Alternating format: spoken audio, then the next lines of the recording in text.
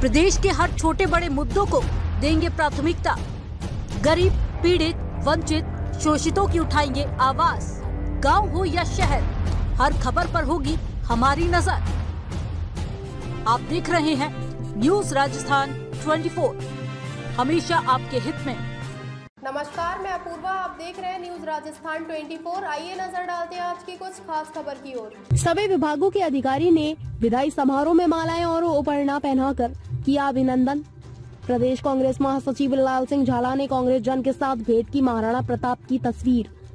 इस दौरान गौगुंदा bar association के पदाधिकारियों अधिवक्ताओं द्वारा भी किया गया अभिनंदन।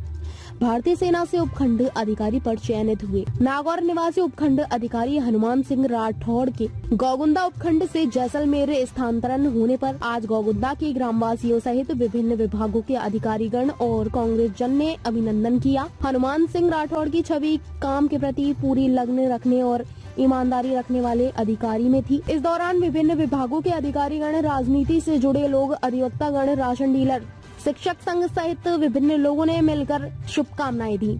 इस दौरान प्रदेश कांग्रेस महासचिव लाल सिंह झाला ने उपखंड अधिकारी हनुमान सिंह राठौर से भेंट कर उन्हें वीर शिरोमणि महाराणा प्रताप की तस्वीर भेंट की।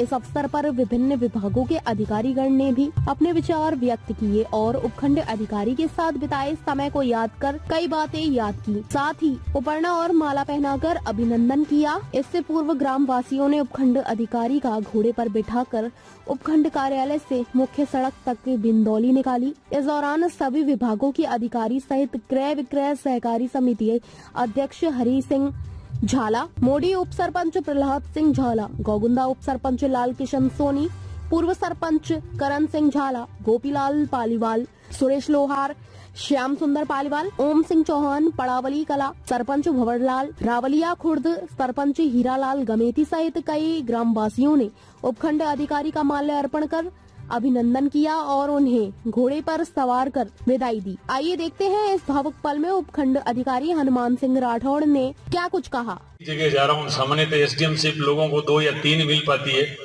लेकिन अब मेरा भाग्य समझे, चाहे कुछ समझे, दो साल से मेरा सीनियर स्केल में हुआ हुआ भी है, लेकिन हो सकता है मेरा जनता से जुड़ा हो, भगवान चाहता हो कि आम पब्लिक के साथ रह करके मुझे और सेवा का मौका मिले। इसलिए मुझे उन्होंने से सिक्स टर्म दी है। आप लोग सब पधारे।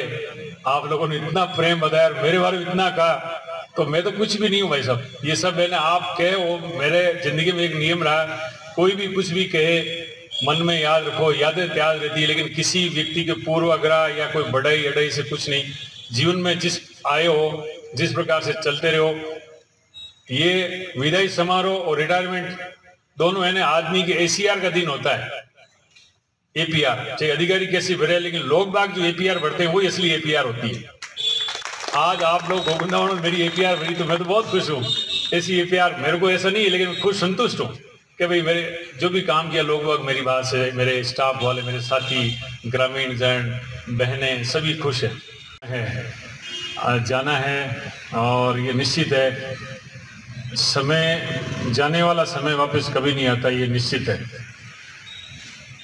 लेकिन जाने वाले समय की यादें ज़रूर आपके मन में कभी कभी आती हैं।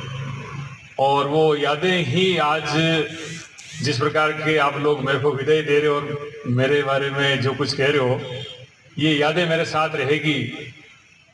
और ये जो आप फरमा रहे ऐसा करें ये कोई मैंने आ, कहीं से सीख के नहीं आया। आप लोगों के सानिध्य से आप जैसे लोगों से सीखा है।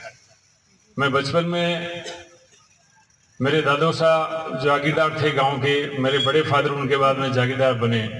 हम बच्चे थे पॉल में खेलते रहते थे। तो मेरे बड़े फादर हमेशा कहते थे, हम छोटे थे, कि देखो बच्चों, जमाना आज की तारीख में ये आ गया है कि आप किसी से भी लड़ाई झगड़ा करके या दादागिरी करके या आँख दिखा करके काम कराओगे तो थोड़े दिन करेगा, उसके बाद काम नहीं करेगा। मैं आपके साथ उठना बैठना भी इतना बढ़िया प्रोग्राम किया। मैं सभी का बहुत बहुत आभारी हूँ। और अगर मेरे से या किसी भी कर्मचारी या कोई भी किसी को गलत शब्द या कभी कभी डांटना भी पड़ा मुझे तो कृपया ये समझ लेना बड़ा भाई, या अपने जो भी बड़ा मान करके मुझे क्षमा कर देना। बहुत बहुत धन्यवाद।